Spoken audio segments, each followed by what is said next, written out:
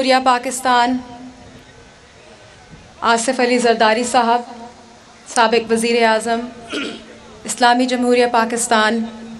सैयद यूसुफ रज़ा गिलानी साहब, सबक governor, president, south Punjab, Makhdoom Ahmad Mahmood साहब, नवाब शहजाद अली ख़ान और नवाब शरियार अली ख़ान और तमाम स्टेज पे जो बैठे काबरीन और जो सारे सामने बैठे असलकुम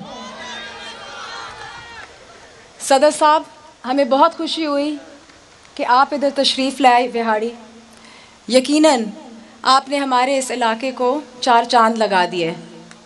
हम उम्मीद ये रखते हैं कि आप हमारे पास बार बार बिहाड़ी आएँ।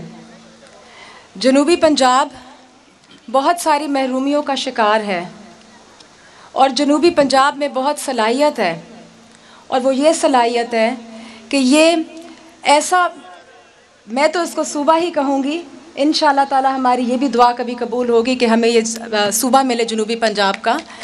इसमें इतनी सलाहियत है कि यहाँ से जो भी वोट बैंक होगा, वो वज़ी अज़म बना सकता है। तो हमें इस चीज़ को बहुत इम्पोर्टेंस देनी चाहिए। मेरा ये एक मेरी सोच है जो कि मैंने आप तक पहुंचाई है और उम्मीद रखती हूँ कि आप इस पे ज़रूर सोच विचार करेंगे।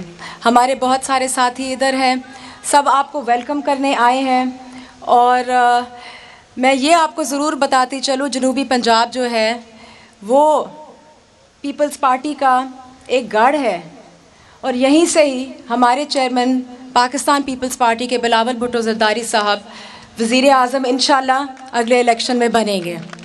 मैं ज़्यादा वक्त नहीं लूँगी। वक्त की बहुत बहुत किल्लत है। दो दो मिनट सबकी तकरीर का। और यस मैं मैं उसी बात पे आ रही थी अभी। हाँ जी, बिल्कुल मैं आ रही थी। और बिल्कुल, यहाँ बहुत हमारे लिए, मैं कहती हूँ कि बहुत खुशी की बात है कि अगर सदर साहब यहाँ से इलेक्शन लड़ें तो यकीनन हम सारे साथ खड़े हैं और सारे हम कहते हैं कि आप आए और इधर आके हम सबको मुतहरक करें और इलेक्शन लड़ें और सीट निकालें। बहुत बहुत मेहरबानी आप सबकी। एक नारा लगा दे, एक जरदारी।